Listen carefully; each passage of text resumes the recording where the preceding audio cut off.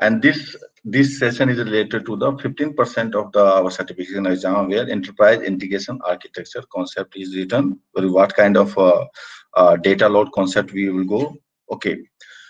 And what is the agenda basically for this session is as an architect, what should you consider when you are bulk data upload is required when we are loading a lot of data when what are things you should consider as an architect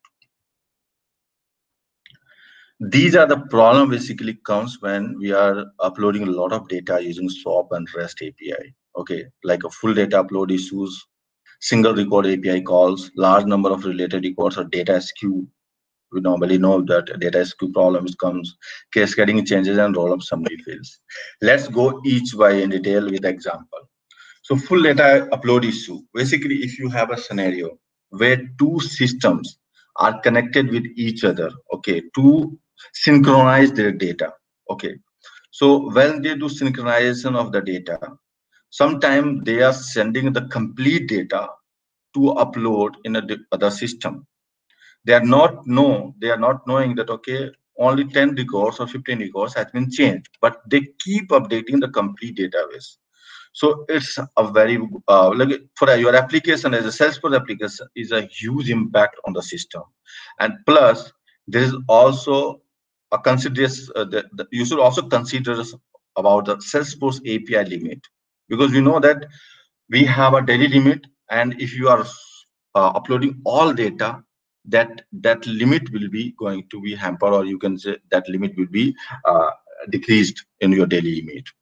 So if that kind of a scenario what should you consider? How you should upload data so that both system will be connected? The first time the solution is whenever the first time the data integration is done at that time you should give the full data upload okay? After that you should not go with the full data upload. You should go with the incremental change upload okay? You should only upload the data which is added which is deleted or modified okay? You should not upload a data which is not done in all of three other than these three because it is a vestige of your memory, vestige of server resource, a vestige of your API limit to the Salesforce. Okay. And now question, how you should know that which record is added, deleted or modified? There's two concepts in Salesforce. Either you should go with a system timestamp or you can indicate or you can add one flag in your record and that flag will indicate, okay, this particular record has been updated in a target system or not based on then you can upload the data. If you don't want to handle those things in your side okay as a code side or the salesforce side you can use a etl tool also.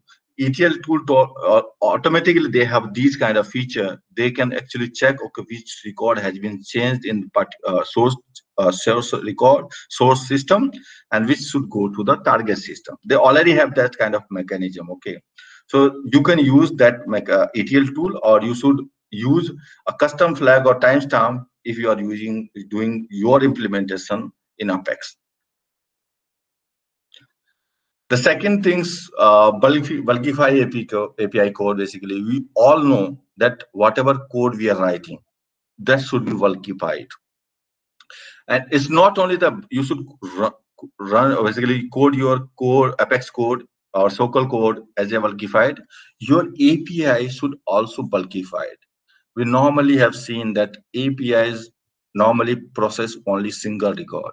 Why should only process single record? You can create a API which should process multiple record as well. You can create an API which process insert multiple record, which uh, gives a result in multiple for the multiple records. So we should create an API as well for the for the batch processing or the bulk processing. Okay. So everyone know that okay uh, that uh, multiple records can be inserted using our normal insert or our uh, dynamic dml statement in our salesforce. Okay. But that that's dynamics uh, SOQL or dynamic dynamics uh, SOQL basically also support different kind of object also in bulkification. In, in the example, opportunity or account, they are different object, but the system or Salesforce can insert both record in a single statement. Okay, so we should consider all those factors when we are doing our API code. Okay, otherwise, for the each request, when you are sending a each request, and for each request, your daily limit is going to be decreased. So you should always take care of bulkification for not single object, for multiple object also, you can go for the bulkification in single statement. The third is data skew. I think most of you know that what is skew. But the skew basically, uh, data skew issue comes when basically large number of records is assigned or to a single parent record basically. Just take example it normally comes when you have 10 more than 10000 record is assigned to one account record. So of course it will create a problem. So how that problem will come? So whenever in salesforce the architecture is written so so whenever you update a child record at that time a parent record also get locked okay so take example you are updating in 10 lakhs of record, you are updating 100 records.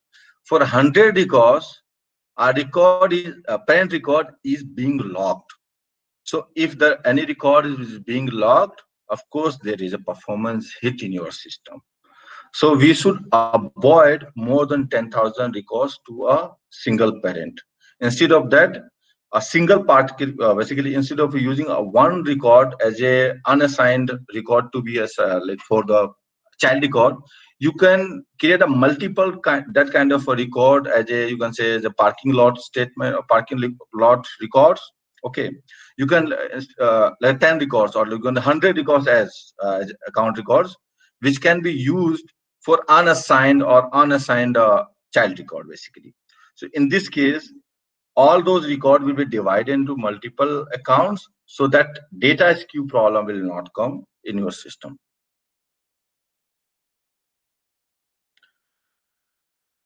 The fourth problem is cascading change issue. This problem comes when you have parent and child or master detail relationship in your system. So whenever the child record is updated, okay, so it is basically it internally it runs a lot of system or a uh, lot of features in your system, Salesforce system. Just take example when you are updating, a trigger can be fired a workflow can be uh, executed or some assignment rule can be executed. So when particular apex trigger is fired, maybe that trigger is inserting or updating other system record. So that again, that trigger will fire and based on that other system will, uh, workflow will also uh, run. So it will create, uh, you can say, a lot of problem when you do a data, uh, bulk data and it will create a performance issue because all when you do data upload all thing will will go. Buffer rule will fire apex trigger will fire. So it will can create a problem in your uh, performance as a performance uh, issue will be there when you do the data upload for the, at least uh, bug data bug load bug load basically so how to avoid this situation that uh, it will not create a problem? So as a system we know that which are the very much important when the data insertion is required which are the uh, which are the trigger is required when you should go with the uh, data insertion or the data upload. We we know that particular form. So when we do the data upload we can avoid such non-important triggers non-important workflow rule or some assignment rule we can disable those features when we do the bulk data upload. And after that data loss is done, we can rerun that or those or we can deactivate sorry activate again those uh, workflow rule and triggers and assignment rule. Those all things we can do through the custom setting or custom metadata type uh, can be used. It's based on our architecture uh, which we have created okay but we can disable data validation based on our uh, requirement Uh, last is roll-up summary issue. So in roll-up summary, we know that there's uh, basically based on the child's data, we are showing data in a parent record. Okay, we are summary summary of data is being there. but whenever the update in your child record will be done, the recalculation is required.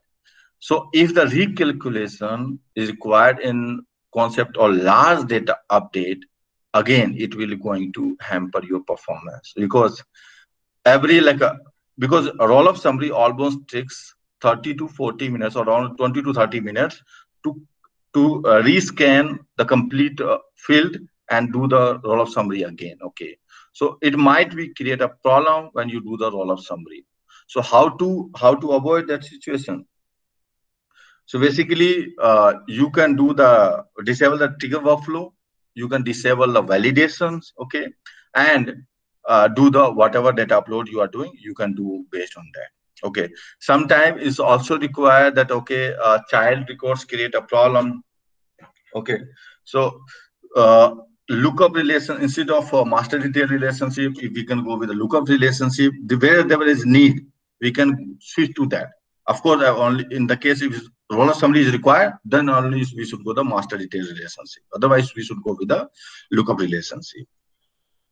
So these are the five important points was there when you do which you do when you are doing the bulk load in your using SOAP and REST API in your Salesforce system. So if you have a question related to these five points, you can ask.